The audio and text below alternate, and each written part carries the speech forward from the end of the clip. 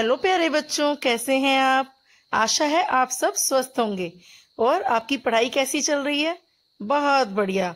बच्चों, आज हम पाठ एक दिन की बादशाहत का सारांश पढ़ेंगे। आरिफ और सलीम दो बच्चे हैं जो हमेशा परेशान रहते हैं। इस बात से नहीं कि उनके घर वाले हर समय किसी ना किसी बात पर उन्हें टोकते रहते हैं। ऐसा करो, वैसा मत करो। हमेशा उनके कानों में पड़ता रहता है।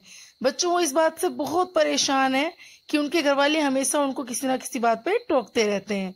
यदि बाहर चले गए तो अम्मी पूछ बैठती हैं कि बाहर क्यों हो? अम्मी मम्मी। और अगर अंदर रहे तो दादी बोल उठती हैं, बाहर जाओ, यहाँ शोर मत मचाओ। बच्चों, बच्चे बहुत परेशान थे कि अंदर रहे या बाहर। दोनों बच्चों की जान मुसीबत में थी।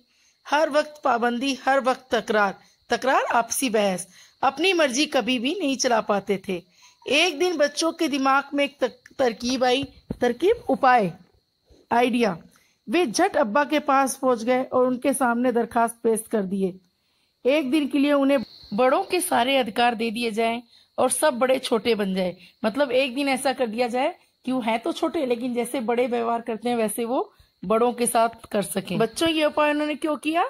ताकि वो सबको समझा सके कि हर समय की टोका टाकी अच्छी चीज़ नहीं होती है। अब्बा ने उनकी बात मान ली और अगले दिन सुबह से बात लागू भी हो गई। आरिफ ने अम्मी को झिझोड़ डाला, झिझोड़ना, हिलाकर जगाना। अम्मी, जल्दी उठिए, नाश्ता तैयार कीजिए।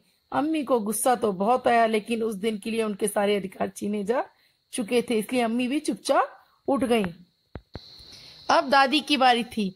जैसे ही उन्होंने बादाम का हरीरा पीना शुरू किया हरीरा एक ताकत वाला शरबत होता है तो बनाया जाता है। आरिफ ने उन्हें रोका, दादी, कितना हरीरा पियेंगी आप? पेट फट जाएगा। शायद दादी भी इसी तरह टोकती होंगी।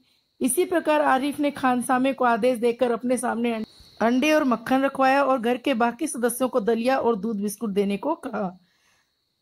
आपा भी बेबस थी उस दिन। उस दिन किसी की ना चली, क्योंकि सारे अधिकार उन्हीं के पास थे।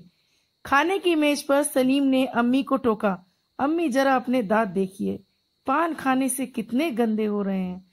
और अम्मी के लाख कहने पर वे दांत मान चुकी हैं, मान चुकी हैं, ब्रश कर चुकी हैं।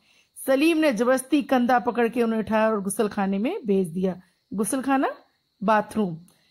जैसे उनके साथ होता था, वो एक एक करके वैसा ही सबके साथ कर रहे हैं। आरिफ अब्बा की तरफ़ मुड़ा।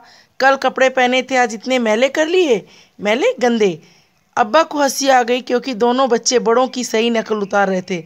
दस बजते ही आरिफ चलाने लगा, अब्बा, जल्दी ऑफ़िस जाइए। इस बार अब्बा को गुस्सा आ गया, क्योंकि बच्चों बड़े फिर भी बड़े होते हैं और छोटे बच्चों को ऐसी बातें शोभा नहीं देती। थोड़ी देर बाद खानसामा बेगम से यह पूछने के लिए आया कि खाने में क्या बनेगा।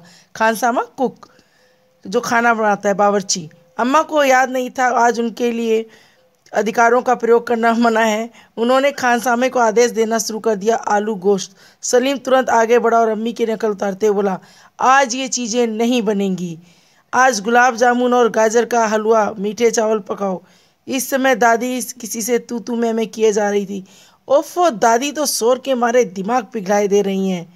आरिफ ने दादी की तरह दोनों हाथों से सिर थाम कर कहा, दादी खून का घूट पीकर रह गई। जैसे दादी कहती होंगी ना, वैसे उन दोनों ने भी कहा।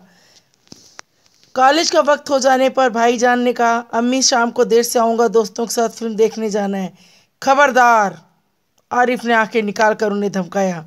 आरिफ बिल्कुल पापा की तरह कर रहे थे। कोई ज़रूरत नहीं फ़िल्म देखने की, इम्तिहान करीब है। तभी बच्चों की नज़र आपा पर पड़ी।